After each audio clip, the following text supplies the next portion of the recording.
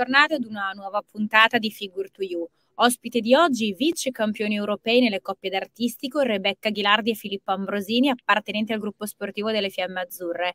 E allora vado subito a chiamarli perché dovrebbero già essere collegati con noi. Ciao ragazzi, benvenuti. Ciao Franci. Ciao, Ciao Franci. Prima di tutto complimenti. Grazie, Grazie mille. mille. Come state? Bene, siamo tornati alla normalità. Ecco, ieri mh, Rebecca, tu sei stata insieme a Sara Conti e Niccolò Maci in Piazza Duomo a Milano per, eh, per l'alzabandiera delle Olimpiadi di Milano Cortina 2026. Che emozione è stata? Che cosa hai provato ad essere lì? Beh, è stata una cosa particolare perché comunque queste Olimpiadi sembrano sempre lontane e poi noi ci sentiamo ancora nel cuore come fosse ieri le Olimpiadi di Pechino e sicuramente è stato un po' mm, il sogno che si concretizza, è stato bello vedere così tanta, mm, tanta gente a sostenere questa cerimonia e assolutamente è stato bellissimo. Ma adesso parliamo degli europei. Che settimana è stata, ragazzi? Ma una settimana impegnativa, è stata bella tosta. E, mh, sicuramente ci portiamo dentro tanto nel nostro cuore dopo questa settimana appena trascorsa. Rebecca? Assolutamente sì, è stata mm, tosta, però diciamo che ci ha, ci ha regalato davvero tantissime emozioni, belle e brutte, le abbiamo prese tutte e penso che di questo europeo non cambieremo niente perché ce lo siamo goduti al massimo e comunque il risultato non è mai scontato, quindi torniamo a casa veramente contenti. Quindi dopo il programma corto in cui avete commesso qualche errore e poi la grande rimonta nel libero dove avete pattinato il miglior programma lungo ottenendo anche il vostro season best con 127,48. È stata una rimonta pazzesca. Sì, è stata una grandissima rimonta e come dice Rebecca, come ha detto prima, mh, non cambieremo proprio nulla perché mh, nella vita eh, è fatta anche di errori, eh, di up and down, è un po' una montagna russa, no? E questo è un po' quello che rispecchia anche il nostro sport. Eh, molte volte sì, allora noi cerchiamo la perfezione, questo è vero, però molte volte appunto non sempre va come, come si vuole o come dovrebbe.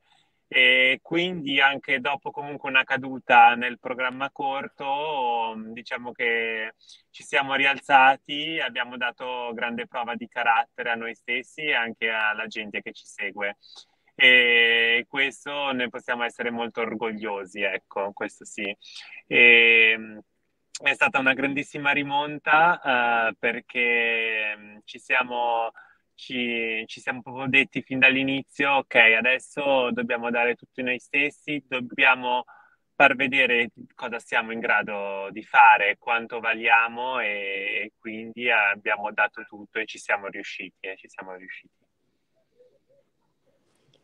Sì, noi abbiamo avuto questa, con il programma libero un'altra occasione e mm, ce la siamo giocata al meglio, non avevamo nulla da perdere, è stato, è stato difficile perché scendere in pista un po' con, con il rammarico del giorno prima, con quella, mm, un po' quella tristezza che, mm, che avevamo, ma insieme l'abbiamo proprio presa, messa da parte e abbiamo fatto vedere, come ha detto Filo, quello che valiamo e non potevamo chiedere il risultato migliore. Poi gara e gara tutto può succedere e penso che è l'esempio palese è questo europeo per noi proprio da un giorno all'altro che le cose non è mai finita finché appunto non si fa anche la seconda parte di gara e poi si ha la classifica totale.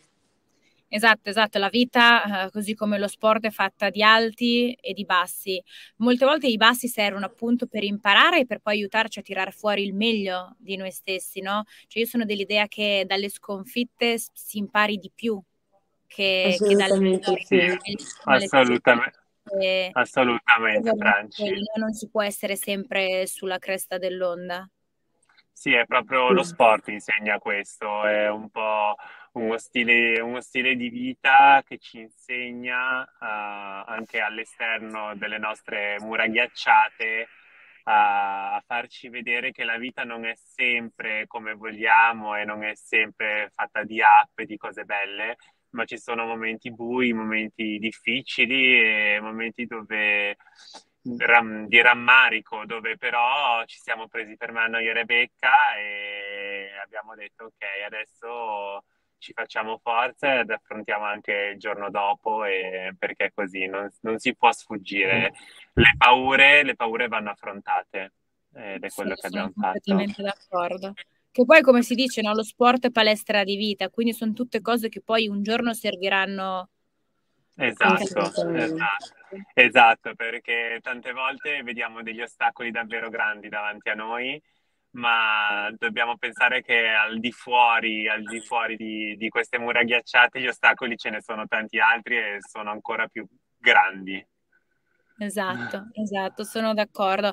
Um, il lavoro poi ripaga sempre. Voi siete dei grandi lavoratori e siete un esempio di costanza e determinazione. Che cosa avete provato a salire sul secondo gradino uh, del podio in questa rassegna continentale? Mm, ma ah. eh, eravamo contenti, eravamo contenti perché, mm, come ti avevo detto anche prima, non c'è nulla di scontato, soprattutto nel nostro sport, e salire su quel podio è stata un po' proprio una, mm, una rivincita personale per noi stessi e per quello che sapevamo fare. Ce lo siamo goduto tutto quel podio lì. Sì, sì, no, devo, dare ragione a Rebecca. E una volta rientrati a casa, come siete stati accolti? Avete festeggiato? Avete avuto del tempo anche un po' per riposare?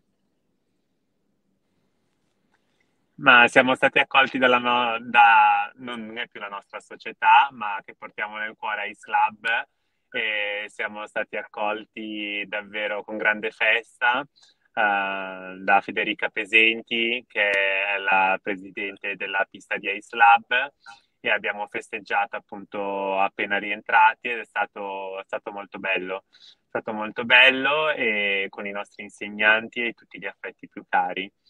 Poi dopo, dopo, quel giorno ci siamo presi adesso fino ad oggi un po' di giorni di pausa per stare con le nostre famiglie. di pausa, sì, esatto, questa parola non si sente spesso. Eh, però ecco appunto per stare un po' con le nostre famiglie, le persone a noi care, perché eh, appunto la preparazione pre-europea è stata comunque impegnativa e non ci ha dato modo appunto di prenderci dei giorni di pausa. Sì, diciamo che è da un po' che questa parola ci manca. no guardando anche solo all'anno scorso, già la scorsa stagione, mm, per le Olimpiadi, questa stagione perché si volevano prendere certe soddisfazioni, adesso abbiamo proprio avuto l'occasione per fermarci, fare un respiro, tirare un attimo il fiato, festeggiare anche con tutti i nostri compagni di allenamento, con, con Federica che è stata gentilissima con questo bentornati fantastico ho avuto l'accoglienza del mio paese con la mia sindaca che è sempre super gentile, quindi tutti hanno fatto la loro parte. E adesso immagino che insomma tornate ad allenarvi e poi quale sarà la prossima gara in programma? Al momento non abbiamo, non abbiamo gare in programma e sicuramente torneremo a riprendere un po' la sensazione del ghiaccio sotto i piedi. E su cosa sentite di dover migliorare ancora? Cioè, dopo questo europeo, mhmm, che cosa avete capito? C'è qualcosa su cui vi sentite ancora un po' più, magari un po' più debolucci? Ma sì, sicuramente è un po' la strada che, mh, su cui stiamo lavorando, la direzione in cui già da- dalla stagione scorsa così ehm, tipo sul, um, sul, twist abbiamo sempre lavorato tanto, diciamo che anche i risultati eh, li abbiamo notati. Banalmente di quel corto agli europei la cosa più bella è stata finalmente vedere quel twist con un livello 4, con in più, cosa che abbiamo detto è andato tutto un po' così, ma quella era una soddisfazione che non ci siamo mai presi e tutto il lavoro che c'è dietro a quell'elemento l'abbiamo proprio visto su, su quel PDF e nonostante la giornata eravamo comunque felici di quella cosa in particolare. e poi salti in parallelo e la qualità su, anche sui lanciati, sui sollevamenti, noi non finiamo mai di lavorare in realtà su niente, il lavoro non è mai finito. E Filo, mh, mm, f- sino ad oggi che voto dareste a questa vostra stagione? Mm, oltre al brillante risultato degli europei, ricordiamo anche un ottimo quarto e poi un primo posto in Coppa del Mondo che vi hanno permesso poi l'accesso alla finale di Torino. Ma dai, io sono sempre molto critico, eh, diciamo un sette e mezzo, otto. otto. E tu Rebecca? Eh, io avrei dato otto, quindi eravamo lì. allineati. Sì, sì, E, mh, vi faccio un'ultima domanda prima di salutarvi. C'è qualcuno che vorreste ringraziare per essere arrivati sino a qui? No, sicuramente sono, sono, tante le persone, Franci, che, che, dobbiamo ringraziare e che dobbiamo il nostro percorso, perché appunto è da sei anni che pattiniamo assieme io e Rebecca, questo è il settimo se non sbaglio, e, e prima da allora ognuno aveva fatto un proprio percorso, quindi uh, nel, nelle nostre vite ci sono tante le persone che hanno fatto parte di noi. Ovviamente non, adesso non, è difficile ringraziare tutti, però sicuramente è sempre stata Ice Lab che ci ha sempre dato l'opportunità a una grande società che ci è sempre stata dietro e ci ha supportato a tutto questo, le nostre famiglie, eh, perché comunque eh, hanno sempre contribuito nell'aiutarci, nell'affrontare sempre tutte le sfide che, che sono arrivate e uh, i nostri ragazzi che i nostri fidanzati che sicuramente fanno, fanno parte ormai del, della nostra vita e del nostro stile di vita molto, molto basso. Per... prezioso. Eh, esatto. Eh, sì, sì, perché ovviamente la vita di uno sportivo è sempre difficile, la valigia è sempre lì pronta e si parte, si va, dopo molte volte le date non sono quelle, si ricambia e così, quindi devono essere sempre al passo nostro. E, mm, e quindi no, no, davvero, davvero a, tante persone dobbiamo grazie, dire grazie a questo, alla nostra allenatrice Franca Bianconi, che è una grande tecnica e sempre fin dall'inizio ha creduto in noi, in me e Rebecca, nella nostra coppia, nell'essere assieme e a tutto il team di Franca. E, mh, ecco, ho detto, ho detto tutto. Non so, Rebby, se... Eh, come ha detto Fide, grazie da dire sono tanti, forse troppi. Io dico quando sai di aver fatto parte mh, anche solamente poco, ma di averci messo del tuo, quando poi senti quel grazie, sai, lo sai che è un po' il tuo, senza aver bisogno che la persona te lo dica direttamente. Quando, quando noi diciamo grazie, può, può sembrare un grazie fin troppo generico e davvero per tutti, ma in realtà secondo me le persone sanno che è indirizzato a loro, cioè io spero che tutte le persone che ci sono state accanto da coppia e da singoli che ci sono, ci sono stati e che c'è ancora, che quel grazie è per tutti, per le nostre famiglie, per il nostro gruppo sportivo, che è la nostra nuova famiglia, le Fiamme Azzurre, quindi è un grazie che racchiude tantissime persone. Una lista infinita. Sì. Allora ragazzi, io vi ringrazio per essere stati i nostri ospiti oggi. Grazie a te, Grazie Franci. Vi faccio l'in bocca al lupo per eh, questo finale di stagione.